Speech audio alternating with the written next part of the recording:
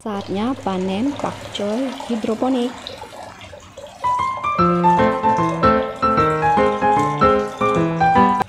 Assalamualaikum warahmatullahi wabarakatuh teman semua. Nah aku mau panen pakcoy hidroponik miniku ini. Nah hidroponik ini aku taruh di teras depan rumah ya teman-teman. Nah pakcoy dapat dipanen setelah satu bulan lebih atau sekitar 40 hari setelah tanam. Nah, untuk medianya juga di sini memakai rock wool sejenis busa gitu ya yang terbuat dari serbuk kayu terus uh, pupuknya dengan AB mix khusus sayur hidroponik. Nah, panennya cukup segini saja untuk sekali uh, nyayur ya teman-teman.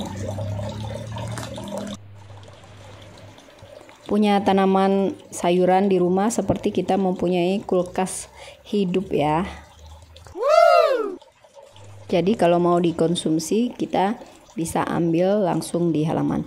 Nah, ini aku pindah tanam, ini yang belum dipanen terus aku pindah ke tempat yang uh, kosong tadi ya dijarangkan gitu. Nah ini hasil panen tadi teman-teman siap untuk direbus atau ditumis. Oke terima kasih.